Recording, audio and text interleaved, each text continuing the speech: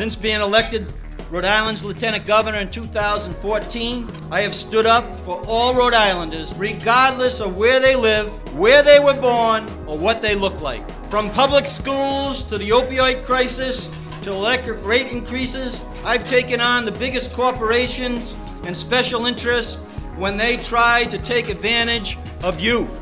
There are 39 cities and towns in our beautiful state, and everyone, everyone's important, and everyone who lives in those communities is important. I've traveled the state of Rhode Island multiple times, just as I did in the campaign. I've met with businesses throughout the state.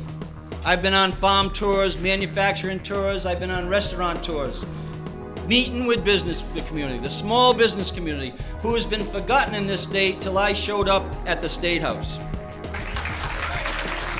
As a small business person myself, I know the risks, hard work, and determination it takes to open and run a small business. We need to support our small businesses. They provide the jobs that our communities needs, and, and we're going to continue to do that.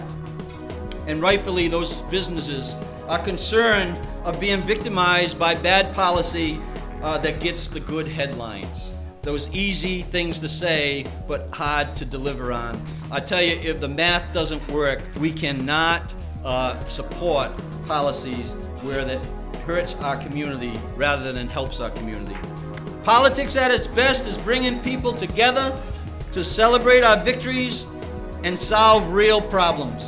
The groups that are here tonight don't all look alike. We don't agree on every issue.